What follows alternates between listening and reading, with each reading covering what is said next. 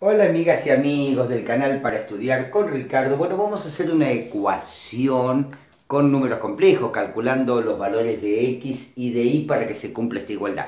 Bueno, mira, acá tenés una igualdad de dos números complejos. ¿Cuándo dos números complejos son iguales? Cuando tienen la misma parte real y la misma parte imaginaria. Pues entonces, veamos cuál es la parte real de este complejo, cuál es su parte imaginaria y que pidámosle que sea igual que la parte real imaginaria de este complejo. A ver, eh, sumemos parte real con parte real. Me queda 2 más i, ¿no?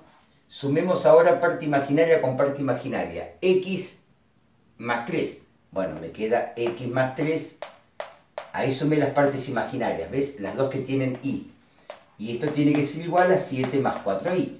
Bueno, gente linda, no queda mucho más que decir. La parte real de este número complejo es 2 más i y tiene que ser igual a 7. 2 más i tiene que ser igual a 7. De acá paso el 2 restando y me queda que 7 restado 2 me da 5. ¿eh? Bueno, ahí tenemos la parte, este, una de las incógnitas. Y, bueno, vamos a la parte imaginaria. x más 3, ¿a qué tiene que ser igual? Y a 4.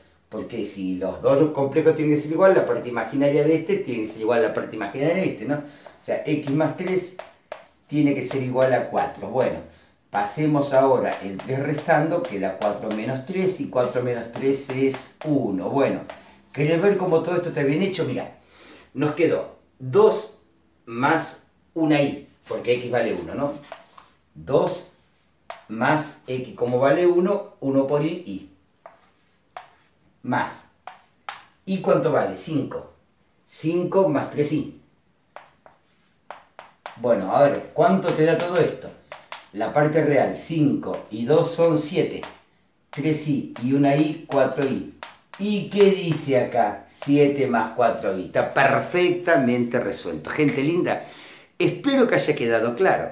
Dudas, preguntas, consultas, bueno, busca a alguien que sepa. Y nos vemos en el próximo video. Chau, chau.